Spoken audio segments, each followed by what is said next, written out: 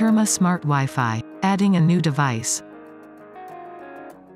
Like many smart devices, the Terma app links to our heating devices, via a specific 2.4 GHz network. You may need to contact your internet provider to enable the 2.4 GHz band.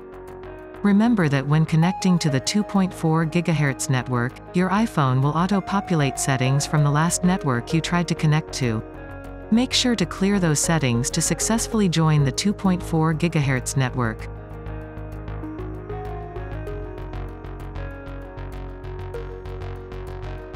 Turn on your device, and press either the plus or the minus button on the front panel.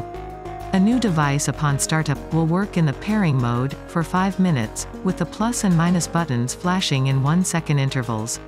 If the pairing mode does not start automatically, press both the plus and minus buttons simultaneously, and hold them until all the LED bars flash three times.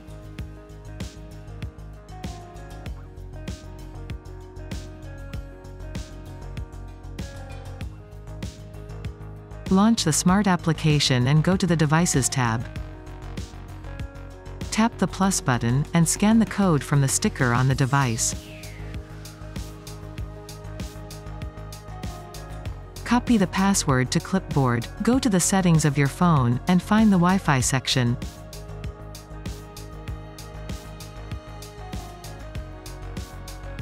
From the list of available network devices, select the one currently being added. Paste or enter the 8-digit password, and connect to the device network.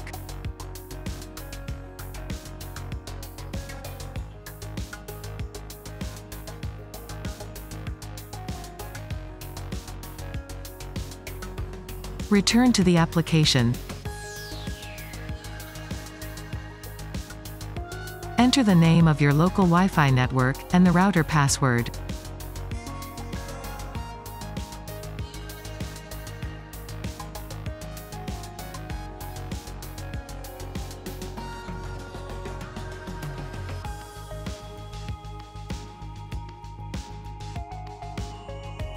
Go to the Wi-Fi section of your phone settings.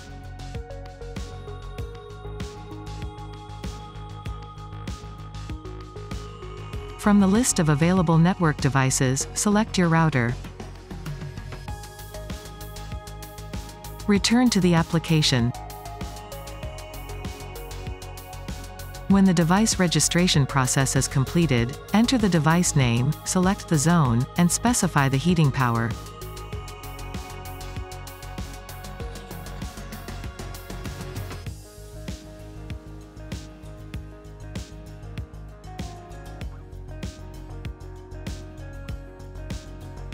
Go to Device Settings, and power on the device in the application.